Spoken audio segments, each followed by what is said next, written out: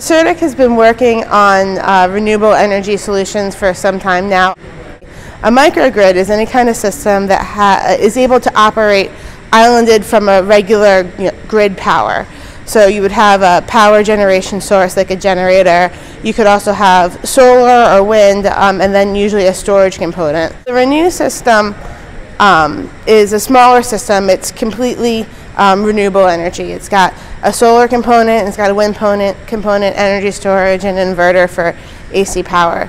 Um, it's really meant for you know small, smaller systems, mostly com systems, in very remote, remote locations that are difficult to um, get to to resupply fuel or um, it might be dangerous and so you can set it up there it'd be a self-sustaining system and be able to power the equipment for a while so the renews program uh, that we currently have prototypes in house, and actually one of them is behind me right now. So we're actually you know finishing up our in-house testing on the Renew systems, sending them out uh, currently sending them out for uh, operational assessments. The Reduce system is a slightly larger system. It's a trailer uh, Humvee trailer towable system. Um, it's about two kilowatts average.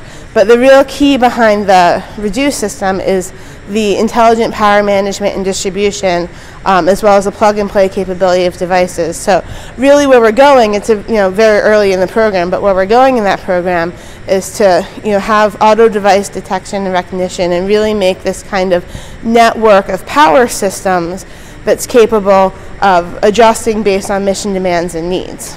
So all, all the renewable energy sources are you know good for the army, good for the soldier, and good for the environment too.